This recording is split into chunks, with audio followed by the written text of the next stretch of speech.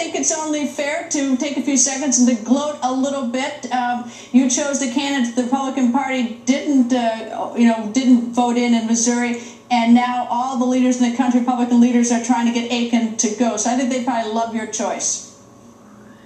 Well, I won't gloat about it, but um, I was right, and Sarah Steelman's supporters and campaign staff, uh, we were all right in knowing that Sarah Steelman is the right person for the job to represent Missouri and to uh, allow uh, common sense conservatives to take back the Senate so that we can halt what it is that Barack Obama has done to this country. Sarah Steelman was the right person. I supported her then, and uh, I'm going to continue to support her.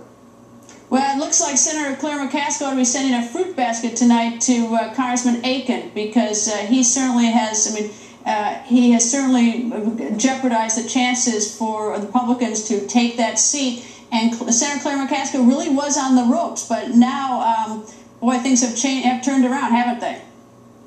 Well, that, see, that's the point, Greta. Claire McCaskill and, and the Democrats thought that they were so clever in um, fighting so hard to get Akin on the ballot as the winner in the GOP primary.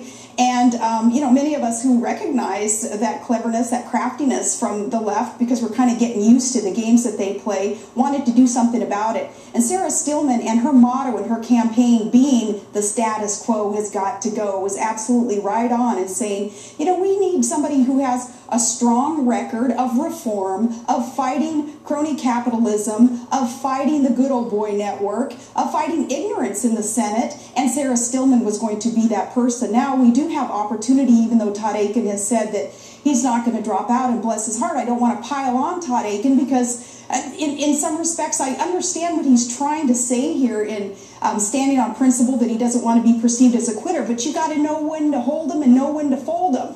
Believe me, I've walked it before. I know when you have to hold that mantle and then hand it to someone else in order to progress a positive agenda. That's what I had to do in Alaska.